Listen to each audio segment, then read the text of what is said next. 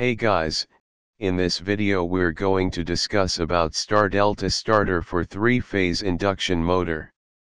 Let's identify the items which we need. 3-pole MCB or miniature circuit breaker. Magnetic contactor, main.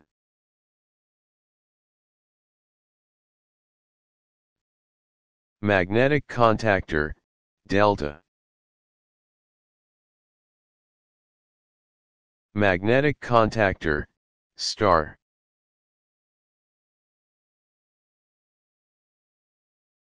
Thermal overload relay.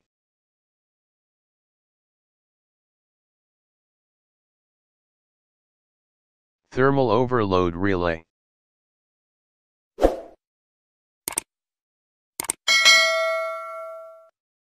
Three-phase induction motor. Before draw the wiring diagram, I will give brief introduction about magnetic contactor and thermal overload relay. What is magnetic contactor? Magnetic contactor is normally used for electric motor control applications. It is function basically like relay. This is used to make or break the connection between the load and power supply. When power is supplied to the coil from the control circuit, a magnetic field is produced, magnetizing the electromagnet. The magnetic field attracts the armature to the magnet, which in turn closes the contacts. With the contacts closed, current flows through the power circuit from the line to the load. What is the thermal overload relay? Thermal overload relay is an electromechanical protection device for the main circuit. This device protects the motor in the event of phase failure or overload. The thermal overload relay does not directly shut down the load. It triggers one or several auxiliary contacts which then disconnect the motor. Most thermal overload relays can be mounted directly to the contactor. Let's see the wiring diagram. Line 1 current. Line 2 current. Line 3 current.